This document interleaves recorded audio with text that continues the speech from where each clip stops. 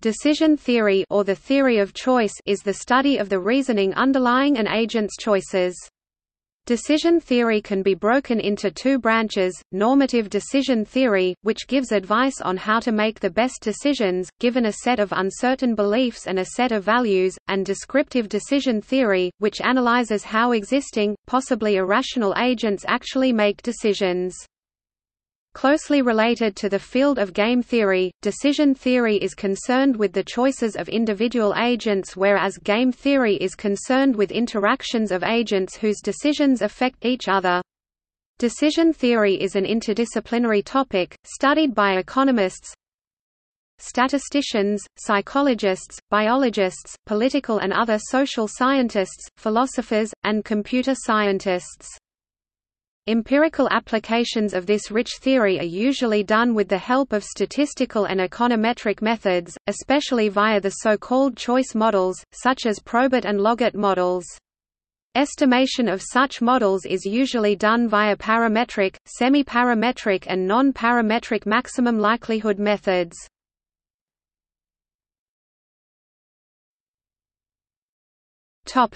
Normative and descriptive Normative decision theory is concerned with identifying the best decisions by considering an ideal decision maker who is able to compute with perfect accuracy and is fully rational. The practical application of this prescriptive approach how people ought to make decisions is called decision analysis, and is aimed at finding tools, methodologies and software decision support systems to help people make better decisions. In contrast, positive or descriptive decision theory is concerned with describing observed behaviors under the assumption that the decision-making agents are behaving under some consistent rules. These rules may, for instance, have a procedural framework e.g.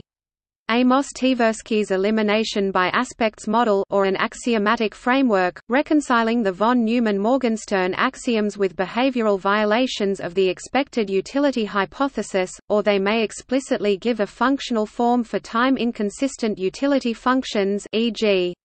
Laibson's quasi-hyperbolic discounting, the prescriptions or predictions about behavior that positive decision theory produces allow for further tests of the kind of decision-making that occurs in practice. There is a thriving dialogue with experimental economics, which uses laboratory and field experiments to evaluate and inform theory. In recent decades, there has also been increasing interest in what is sometimes called behavioral decision theory and this has contributed to a re-evaluation of what rational decision-making requires.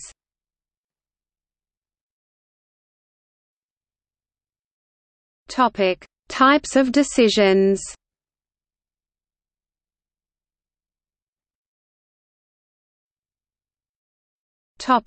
Choice under uncertainty The area of choice under uncertainty represents the heart of decision theory.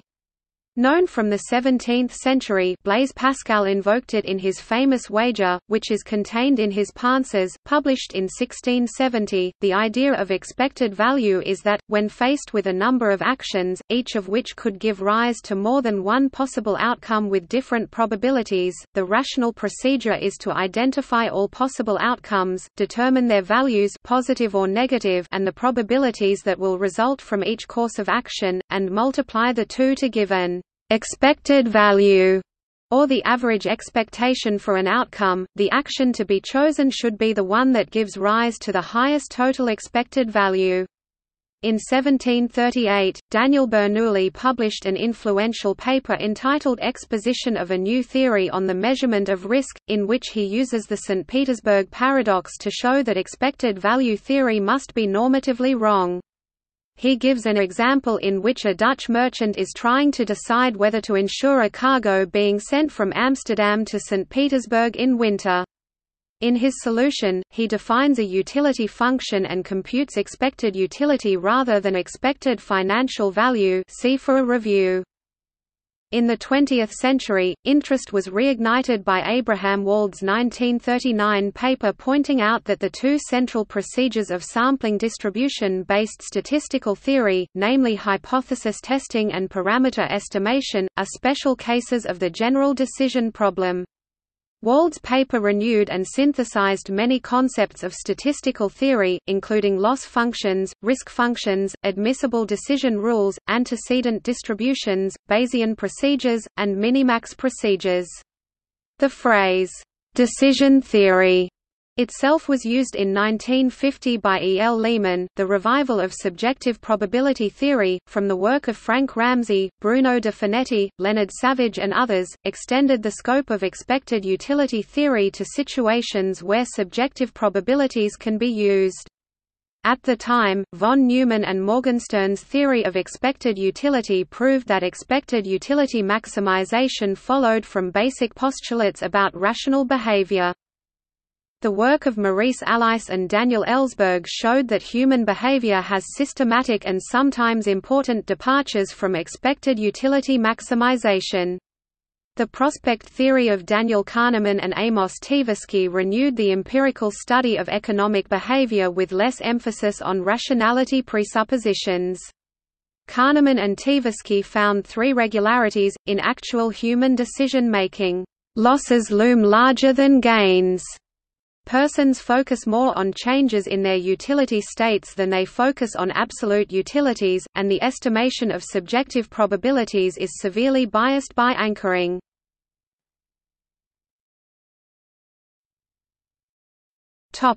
Intertemporal choice Intertemporal choice is concerned with the kind of choice where different actions lead to outcomes that are realized at different points in time. If someone received a windfall of several thousand dollars, they could spend it on an expensive holiday, giving them immediate pleasure, or they could invest it in a pension scheme, giving them an income at some time in the future.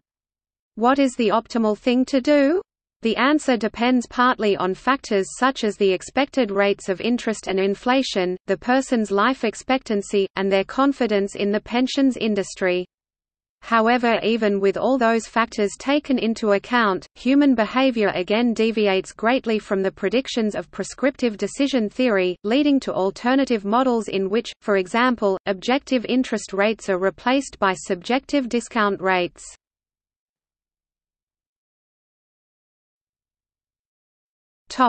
Interaction of decision makers Some decisions are difficult because of the need to take into account how other people in the situation will respond to the decision that is taken. The analysis of such social decisions is more often treated under the label of game theory, rather than decision theory, though it involves the same mathematical methods. From the standpoint of game theory, most of the problems treated in decision theory are one-player games or the one player is viewed as playing against an impersonal background situation. In the emerging field of socio-cognitive engineering, the research is especially focused on the different types of distributed decision-making in human organizations, in normal and abnormal, emergency, crisis situations.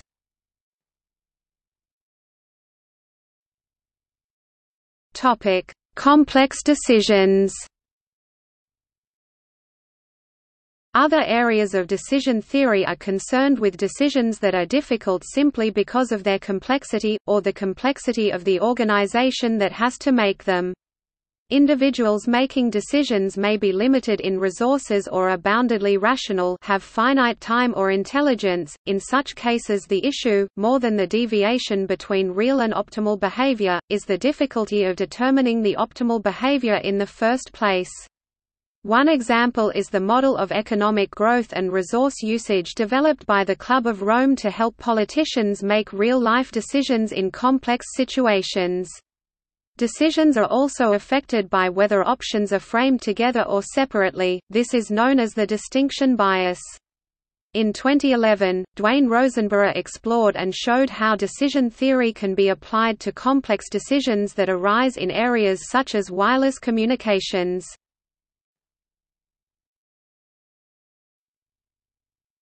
Heuristics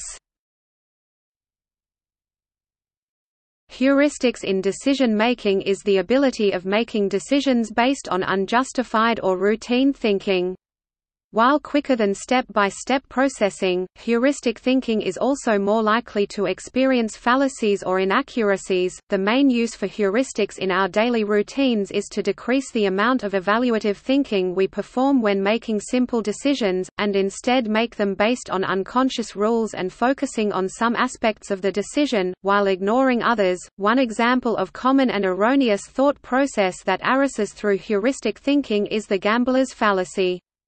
Believing that a isolated random event is affected by previous isolated random events, for example if a coin is flipped to tails for a couple of turns it still carries the same probability of doing so, however intuitively it sounds more likely for it to roll heads soon, this happens because, due to routine thinking, one disregards the probability and concentrate on the ratio of the outcome, meaning, in the long run the ratio of flips should be half for each outcome. Another example is that decision makers may be biased towards preferring moderate alternatives to extreme ones. The compromise effect operates under a mindset that the most moderate option carries the most benefit. In an incomplete information scenario, like in most daily decisions, the moderate option will look more appealing than either extreme independent of the context, based only on the fact that it gathers characteristics that can be found in either extremes.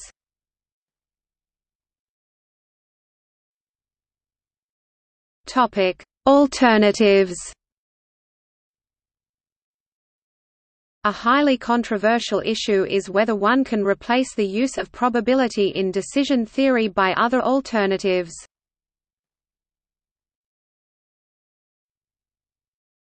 Topic: Probability theory. Advocates for the use of probability theory point to the work of Richard Threlkeld Cox for justification of the probability axioms the Dutch book Paradoxes of Bruno de Finetti as illustrative of the theoretical difficulties that can arise from departures from the probability axioms, and the complete class theorems, which show that all admissible decision rules are equivalent to the Bayesian decision rule for some utility function and some prior distribution or for the limit of a sequence of prior distributions. Thus, for every decision rule, either the rule may be reformulated as a Bayesian procedure or a limit of a sequence of such, or there is a rule that is sometimes better and never worse.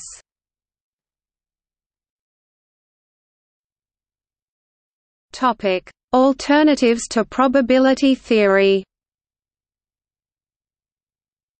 The proponents of fuzzy logic, possibility theory, quantum cognition, Dempster-Shafer theory, and infogap decision theory maintain that probability is only one of many alternatives and point to many examples where non-standard alternatives have been implemented with apparent success. Notably, probabilistic decision theory is sensitive to assumptions about the probabilities of various events, while non-probabilistic rules such as minimax are robust, in that they do not make such assumptions.